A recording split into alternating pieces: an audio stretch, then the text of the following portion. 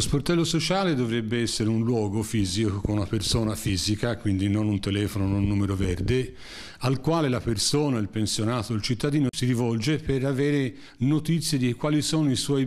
diritti inespressi, ossia se nel suo comune ci sono delle agevolazioni sull'affitto, sulla luce, sull'acqua, oppure che tipo di RSA ha diritto, come ci deve andare per farsi controllare la sua busta paga che sarebbe lo scontrino della pensione, ossia tutta una serie di diritti e spesso e volentieri non vengono chiesti perché non si conoscono. Questo sportello dovrebbe aiutare a conoscerli. Tutto ciò, insomma, che riguarda la tutela del reddito da un lato con le somme non richieste come integrazioni al minimo, prestazioni assistenziali, maggiorazioni, somme dovute ma non versate dall'INPS a causa di errori, calcoli sbagliati o domande mai fatte, dall'altro tutta una serie di agevolazioni delle quali è possibile usufruire, ma che molto spesso sono sconosciute agli stessi destinatari. Per lo SPI CGL Toscana l'apertura degli sportelli sociali è un impegno importante, una vera e propria scommessa che passa anche attraverso un investimento in termini economici e di qualificazione degli addetti agli sportelli, che dovranno essere adeguatamente formati.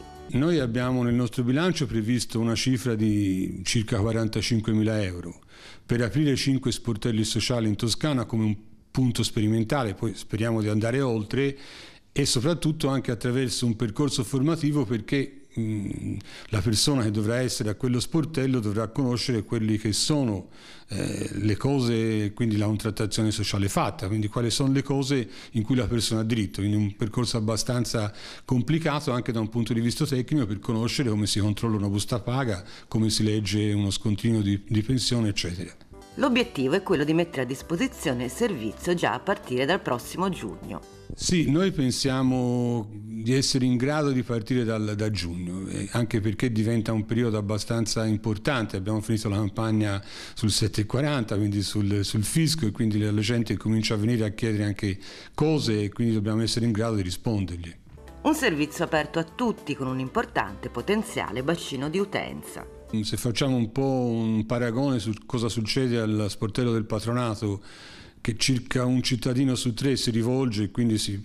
parla di qualche centinaia di migliaia di persone, pensiamo anche noi di poter eh, parlare con un numero interessante di persone, anche per, dice, per far crescere anche i nostri iscritti e con l'obiettivo anche di far conoscere meglio il sindacato e il suo lavoro, così da incrementare le adesioni allo SPI e contare di più per ottenere di più per tutti. Senza dubbio, nel senso far conoscere i diritti, ma anche perché, come dice la nostra prossima campagna sul tesseramento, più siamo più contiamo, insomma facciamo tutti parte di un mosaico e quindi se siamo in grado di stare insieme riusciamo anche a conoscere e ad avere.